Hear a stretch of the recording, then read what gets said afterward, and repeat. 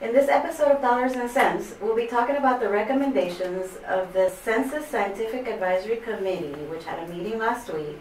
And present there was Mario Marazzi, an economist and committee member. Basically, we just want to talk about the results of that fall meeting and uh, which points of the recommendations pertain to Puerto Rico. So thank you for being here today. Thank you, Michelle. So let's talk about what happened at the meeting. First of all, this, the 2020 census is coming up.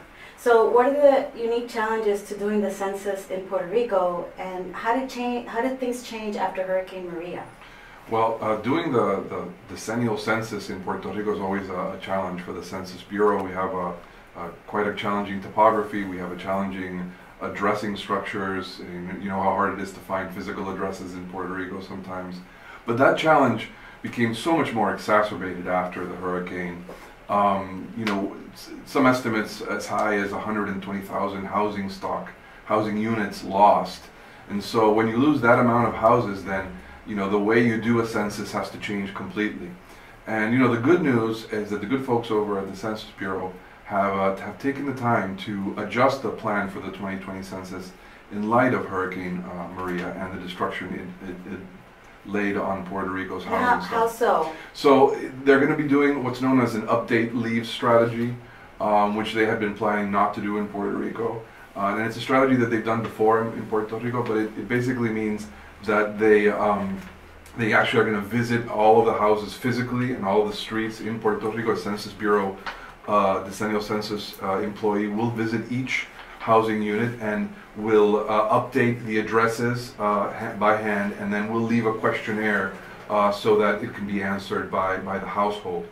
Um, before it was going to be a much more sort of simpler address canvassing without the update leave, but with the, the amount of houses that had, been destroyed, had been changed, uh, even roads that have moved uh, location, uh, they no longer trust the information that they've had for so long, and they'd rather now really just go get out boots on the ground and, and check house to house. So that sounds like a massive undertaking. Is this going to require more people, more manpower, more time? It is a massive undertaking, and, and yes, it does require a little bit more uh, resources uh, from the Census Bureau. But uh, but fortunately, um, they've been able to make uh, you know the budget somehow uh, work, and they're they're planning on, on going ahead and, and doing update leave, which is going to be really important to make sure that the 2020 census in Puerto Rico is as high quality as possible, counting the all of the people in the right place and no one left out and no one dou- double counted, which is really important for absolutely everything that comes after the 2020 census. We're going to have these, this data for a whole decade, and we're going this data is going to determine federal funding. It's going to determine how we plan. It's going to determine policies. It's going to determine how our economy functions. It's going to determine how we measure the demographics afterwards. So it's uh, it's really a, a, a really important exercise that gets done every every 10 years. It's, it needs to be done by the Constitution of the United States as well as by the Constitution of Puerto Rico.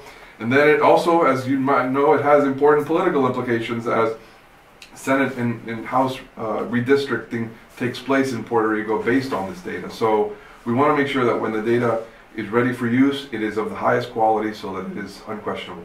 When does it start? So the uh, actual census will, you know, get going uh, in early 2020, but actual census day is April 1st, uh, 2020. So when people fill in the questionnaire, they're going to be filling it referencing how many people lived in their house, how many people spent the night in their house that night, April 1st, 2020. Okay. Now let's talk about what happened at the meeting. Um, you know, what are some of the key issues that were brought up, particularly again those specific to Puerto Rico? Sure. So the Census Scientific Advisory Committee is a committee created by congressional law to provide scientific advice to the Census Bureau on how it should go about doing a census all over the United States. And this is not no easy undertaking. And so, and it's not just the decennial census; it's all of the census data uh, uh, in a whole. And so, this was my first meeting. I'm really honored to be appointed, probably the first Puerto Rican appointed to this committee, uh, appointed by Secretary Wilbur Ross, Department of Commerce. And you know, it was uh, really a fascinating meeting. Really, some of the brightest minds from all over the United States uh, who are very knowledgeable about data and about uh, census activities um, coming together to provide, you know, our external scientific advice on how to go about uh, performing a census. So there's uh, a lot of things going on. There's, um, for instance, an important debate about the citizenship question. Right. Um, it's, uh, it's a proposal by the, by the, uh, by the administration of the federal government to include a question that uh, asks people, you know, are you a citizen of the United States? And it's very controversial. Um, it's uh, there's important uh, groups of people who believe that this question will make, uh, you know, some groups be hesitant to fill in the questionnaire, fearful, for instance, undocumented migrants, um, and there's other folks who, who feel that you know uh, even with that additional you know uh, fear, the Census Bureau can do certain things to compensate for that and still get the sort of participation uh, that everyone needs. Um, I, I myself, I've come into this debate with a, set of mixed feelings. I, I am concerned about adding a question and its impact. And Why? Why? Well, I mean, if when you add when you add a question that hasn't been asked for a very long time, and it's a very sensitive question to certain groups of people who might feel that the government is using this information to find out where they are and and, and deport them, then you know you might not. So here's the here's the bottom line: the point of the census is not to have a census of how many people there are that are citizens. It's the point is to have a total count of all the people, no matter if they are citizens, uh, resident aliens, non-resident aliens, undocumented migrants. You know, you want to count everyone, no matter what their legal status is in the United States. And Puerto that, that would affect Puerto Rico in the sense that we do have a population that may or may not wanna Everywhere, answer that. that's right. Everywhere there are undocumented migrants, uh, there is this potential um, for lower participation if they don't uh, go ahead. Now, the, the, the you know this is being debated in the courts right now. I'm not sure uh, you know how much your your your listeners are aware, but there's about I believe 12 state attorney generals that have presented a lawsuit to try to get the question taken off. And this, you know, this will eventually be decided by the Supreme Court of the United States. Um, and it wouldn't be the first time that the Supreme Court gets involved Right. in the inclusion or exclusion of census questions. And at some point next year, this will be resolved probably by the by the by the Supreme Court. Now that said, the uh, the CSAC, the, the Census Scientific Advisory Committee, previously before I, I became a member, had already established a series of concerns and had warned the Census Bureau about the potential impact of the inclusion of the question. And so, um, you know, in this meeting, there was, you know, the, the, we saw the results of what the Census Bureau had done, and, and they basically said, well, we're going to proceed to include it anyway because the benefits sort of outweigh the costs. And it, it wasn't discussed very much in this meeting um, because there's already an ongoing legal uh, process. But what was discussed was, to some extent, good news, which is that the Census Bureau will be doing a series of tests uh, using the community survey to determine the impact of the inclusion Mm. of the citizenship question all over the United States to see whether when people see the citizenship question, then they pull back and say, hey, I'm not going to send this questionnaire in, you know, uh, and, and so, but here's the kicker, Michelle, they're going to do it all over the United States, but not Puerto Rico. Okay. And so. You know, we have a considerable population of undocumented migrants here, and you know, our population of undocumented migrants are not necessarily the same as those in the United States. They come from a different country. They maybe they entered Puerto Rico in a different way than other undocumented entered the United States, and so. You know, it would be good for the test to be done here as well. So how can you make that happen? Is there any way to make that happen? Well, the only way I had was to recommend it as a member of the Okay. CSAC, uh, the Census Scientific Advisory Committee, uh, accepted my recommendation, and we recommended the Census Bureau choose one territory uh, in which to perform the uh, the same test to see whether you know in territories uh, we can expect a similar uh, effect on participation from the inclusion of the citizenship question. And when we will have an idea whether it'll be a go or not? Well, um, yeah. Are, are they gonna be doing this at a certain Yeah, so the, the, what the Census Bureau director announced was that the test will take place during the summer, 2019. Uh, we'll, I'm not sure if they have the resources to do it in one of the territories. Um, I, I hope they do, uh, because I think it's important to make sure that, for instance, in a place like Puerto Rico, we know what the impact on participation will be. But, you know, that's going to be ultimately decided in Washington uh, based on resources, and we will know sometime in the spring whether, whether that recommendation gets accepted or not. Okay, and I, I got the opportunity to read the memo, so I was able to see, you know, more or less what, what was discussed, although there's a lot Yes. in that memo. But I did see um, an, an area of discussion about reaching hard-to-count populations. Does that, you know, pertain to Puerto Rico? I believe it should, right? And then if so, how is that gonna be addressed? Absolutely. So, uh, it's- precisely with many of the things we've discussed. So, hard to count populations is a program the Census Bureau has as part of the decennial census to design strategies to identify populations that are hard to count and then do special efforts to make sure they participate. And so the citizenship question is a challenge for the hard to count uh, program. Um, Hurricane Maria's impact on our addresses are a challenge to the hard, hard to count population as well. And what they're doing with update leave is a way of responding through uh, through a logic of hard to count to make sure that that uh, we make you know have the full participation of the people in Puerto Rico. Okay, so basically it's going to take uh, an Well, army. Well, to do all literally, yes. Every 10 years, they, the Census Bureau hires uh, tens of thousands, if not a 100,000 people in the United States and Puerto Rico just to do the census. These are great temporary jobs that come along once every 10 years. Uh, and it's literally like an army walking the streets and checking addresses, checking to make sure we're counting everyone, making sure everyone's participating. Uh, there's a whole uh, media campaign uh, also associated with it, which will begin rolling out sometime in early 2020. And so, um, you know, all the work we're doing now is planning for that census to make sure that that census is as high a quality as possible. And you know, I've, I've dedicated many years of my life to, to for this moment, and we've done a lot to help the Census Bureau. Uh, I'll tell you that for the first time, the Census Bureau is going to be planning the 2020 the census of Puerto Rico using Puerto Rico's property tax uh, database, which they've never had access to. I mean, uh, the famous CRIM Mhm. uh, and their uh, digital cadaster, which is a geographic file showing all the properties and who owns what and what are the property values. This information is now finally in the hands of the Census Bureau, which it has been for most of the United States. Uh, Except Puerto except Puerto Rico until this census. Now, I also saw in the memo that they're um, that they're talking about, you know, when, when including U.S. territories, they're going to be working with FEMA, with the Federal Emergency Management Agency. So how, how does that work, and, and where do they come in? So one of the most interesting parts of the meeting had to do with how to use census data to support disaster recovery. Um, the chairman of the committee uh, now is uh, Dr. Allison Plyer. Uh, she is uh, the director of the data center in New Orleans. And Katrina. after Katrina, uh, Allison has become a sort of disaster data expert uh, all over the world. And, and she, she travels from place to place explaining how disasters have become a new normal and how um, statistical entities need to adjust to this new reality.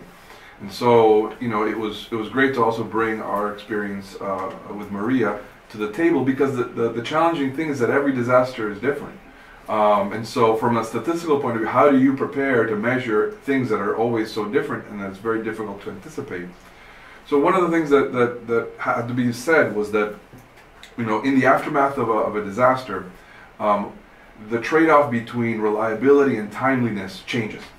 Uh, when you're doing any data product, any statistics, you can either make it very reliable, uh, but not very timely, or you can make it more timely and you have to sort of, you know, maybe give way a little bit on the reliability. This is not something you can have both. You can't have your cake and, and Eat two. There's a trade-off. And so, um, but and, and the Census Bureau has the gold standard of reliability, and you know, even if it takes us, you know, another year, we're going to make sure it's perfect, and that's always been very good for the Census Bureau. But the truth is, in the new normal of disasters, of large-scale disasters, in the aftermath of a, of a natural disaster, we have a sort of fog of war, if you will, where it's uh, difficult to know what truth is, and there's a lot of interest in knowing exactly what the truth is and what will happen. Is the population going to return? Did they go? How many? When are they going to come back? All of these questions are essential for investment, for recovery, for emergency, and so um, the it, it becomes the case that people don't really care as much as they would normally about reliability. They're willing to cede on that if they can just get it a little faster. And so that is a message that I, I took down to the Census Bureau. I think it's it's important for them to realize that that's going on. Um, maybe Washington D.C. doesn't get hit by as many Mhm. disasters, but you know, people. Uh, you know, Allison spoke about New Orleans, and it was exactly the same experience we had here. You had uh, real estate developers interested in knowing is the ni- lower ninth ward being repopulated or not, um, and a very similar dynamic happened here. And what what because the statistical agencies don't have a quick fire way of responding to these incidents, what tends to happen is that places like the data center in New Orleans or even in Puerto Rico, the Institute of Statistics, we everyone shifts to saying, well, you know what, we are uh, we're going to start using other data sources to help us figure out how things are going. Mhm. And in the case of New Orleans, for instance, they used uh, postal data to know how many active addresses were re- how many addresses were actively receiving mail, which is something the Mhm. postal service actually calculates. And can that be done here, or has it been done here? It can be done here, and it's something that, that I in fact looked at one point. Um, the data was strange. It, it wasn't telling us of the sort of same picture, Mm-hmm. and it had to do with, with the geographic scale, the zip codes. It you know some would go up, some would go down. and Like maybe people were shifting within Wait, Puerto sure, Rico, sure. but the number of houses doesn't really tell you very much about the number of people. You know, Yeah. we can take a household, and you know where two people usually live, we can fit a family of eight if we need Right, to. right. And so it, it, it, doesn't, it's not a great indicator also. What people really cared about was movement off island, right? Mhm. And for that purpose, we quickly shifted it, and it's, it's actually a data source that we've always looked at, but it became much more important, the number of pass, air passenger movements. How many people were leaving Puerto Rico on a plane, how many were returning, and the net of that. And it showed a very clear pattern, just as one would kind of expect. Which is what? That How many people actually stayed and left, and do you have that number, those numbers? So in terms of air passenger movements, which is not exactly, it's not a perfect measure of Mhm. migration, right? I mean, there's many other factors that come into it. And, you know, these are numbers that uh, I uh, don't have off the top of my head. Okay. But I will tell you the pattern was that in October of 2017, uh, right after the hurricane, almost 90,000 people left on net. Wow. Now that is equivalent to what we would have seen in a whole year's worth of the migration wave we were living before. Okay. So that was very, very dramatic. And then, so November, December, that began to taper off, and by November, we finally began to see a net return, Mhm. significant net return. Okay. Um, now, and that then has tapered off slowly as well. So now we are back entering into the usual dynamics of the migration wave that existed before. Mhm. And I think on net we've lost, uh, you know, some ch- good chunk of people. I, I'd be hesitant to give you a specific number. But it is But, um, significant enough but to, it's- it's- you know, to- yes. to get to take get noticed. Oh yes, no, no. This this definitely had the the Hur- Hurricane Maria definitely had a long term impact on our population, and it's going to become very very clear uh, after we do the 2020 census. But in the meantime, with the data that we do have, which is imperfect, uh, in the next month, the Census Bureau will finally publish the 2018 population estimate for Puerto Rico, and that will be the first official estimate of how much the population fell between 2017 and 2018 and it'll give us a, a good sense of you know how much more Hurricane Maria has subtracted from our population. And that number then should be used by everybody concerned about the economy and, and the future, right? I don't know if it should, but it definitely will be. Okay, okay. yes, no, I mean I think it's uh, it's going to be an important uh, gauge, uh, metric in terms of you know uh, where our population stood stood this summer of 2018. Um, but uh, it you know it is possible that Hurricane Maria's effect may last more than a year, right? Sure. Now, from now on, the effects are going to be really, really marginal, and they're going to be, take longer to unwind. Mhm. Um, so I, I would expect that, you know, even with the migration wave uh, going, and overall us showing a net outward migration over the next year, it's probably lower than it would have been without the Maria return effect, okay? Which might be small, but might be persistent. I mean, keep thinking about those families who may still be staying with family members, or maybe they're in a motel somewhere in, in, in FEMA money. Uh, maybe they're waiting for, for you know things to get back here better. It, it's still possible, a year or two out, that some families may still be waiting for the right opportunity to And return. let's not even think about the fact that it, another storm may hit again soon. Let's not even go Right. there, I, right? I, I, what I just said assumes no other Right, storm. right, uh, right, another storm would again change everything Everything. once again, and it would also really impact the 2020 census. It would, definitely. Um, the per- taking uh, un- the undertaking of a, of a census in April 2020, after something like you know a Maria Part Two in in the fall of 2019 would be would be uh, really challenging for the census. Bureau. How expensive is it to, to run the census here? Do you have any idea? Or in Um, general, perhaps? How expensive is, so, is the census? As I recall, the 2010 census in Puerto Rico was about a billion dollars. So should it be more or less now? Well, every decade inflation tends to Yeah. add some, some money to that. So Well, yes. And also the fact that you said that it's gonna take more people to, to figure out what's Yes, going on yes. well. Now, there are, there's less population. Sure. So, uh, if the Census Bureau can design some strategies, and the, also, the other thing is that this time around, they're gonna be using the internet much more Mhm. extensively. Um, there's actually gonna be an opportunity to answer it online. Oh. Um, but most people are gonna receive a letter saying, you can log into this website, enter this passcode, and you can begin filling it in right away. Okay. Um, and so, um, you know, if that fails, then all these other sort of mechanisms kick in. Now, during the meeting, going back to that, there was another term that I didn't really understand, and perhaps you can talk about it in, you know, rice and beans, like we say. This thing about the differential privacy issue. What is Yes. that about, and how does that pertain to Puerto Rico, if at all? No, that's a really important topic. Um, you know, the Census Bureau and other official statistical agencies publish hundreds, thousands, tens of thousands of tables. And to the extent that you publish more and more tables and more and more data, um, it becomes easier to um, detect and identify specific characteristics of the individuals that you are trying to represent. And so, um, over the past uh, decade, especially, there has been a growing recognition, uh, especially by due to the research done at the Census Bureau, that um, it is very possible to reconstruct the micro data, the individual data of previous censuses. Mhm. Um, now, this is uh, actually a ma- mathematical theorems that have been developed at the Census Bureau using cryptographics, and so um, they, for the 2020 census, they're going to be introducing a new concept called differential privacy, which uh, it, it adds some noise to the data that actually makes it impossible to reconstruct the databases. Okay. And so um, it's uh, it's going to be an important change. I don't, it, you know, we need to start educating users about this. We need to start educating policymakers, uh, especially those who will be redistricting, Mhm. um, because you know this has the potential to confuse a lot of folks, and it, it's being done to protect the confidentiality of uh, populations, of vulnerable populations, make sure that everyone's you know, feels comfortable that, that their individual data will not be made available uh, out there and that it won't be used for other purposes other than statistical.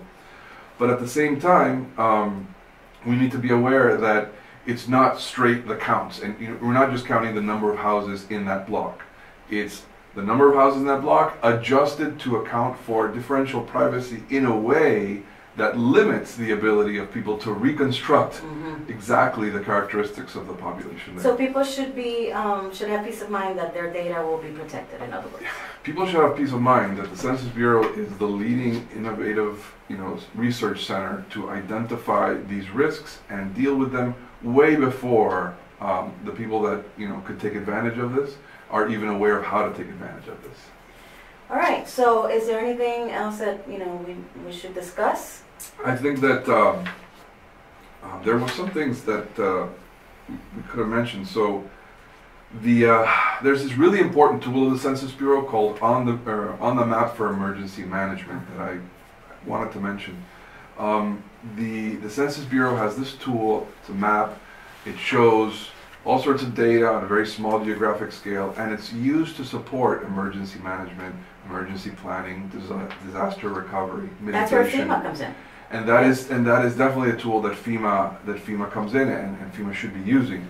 Um, the the thing is that Puerto Rico has never been in this tool, and so this is you know after Maria, this has become a really important priority, and and it, and it seems to me that you know uh, the Census Bureau and the government of Puerto Rico should devote uh, whatever resources are necessary to make sure that Puerto Rico gets on the map. Uh, it's the, the tool is called On the Map, and one of the submodules is On the Map for Emergency Management. And so, uh, my biggest fear is that another hurricane might come along, and we still are not on the map.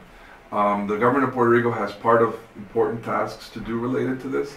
Um, they they need to provide certain data. They've been providing some of this data, but it hasn't been of adequate quality. So the Census Bureau has not been able to include Puerto Rico in all of the products, including specifically on the map. And you know, uh, this was a this is a work that was being done by the government of Puerto Rico. so not just on the hands of the Census Bureau, but um, both of the both parties need to come together and make this happen because the worst thing that can happen is another hurricane comes along and we can't even really you know estimate the impacts of the hurricane because Puerto Rico wasn't on the map. Specifically, who needs to take care of this? The planning board? The So this would be uh, the Department of Labor together with the Puerto Rico Institute of Statistics. Okay, okay. So let's wrap this up. Again, thank you for being here. Thank you, Michelle. And thank you for sharing your expertise on this. It's definitely an ongoing matter. Perhaps we can touch base again in a couple of months to see how things are, are moving along because the census is something that is unavoidable. And, and Puerto Rico needs to, you know, be quite included, right? Absolutely. I'm very happy to come back here in a couple months and continue, continue talking about these topics. Thank you so much. Thank you.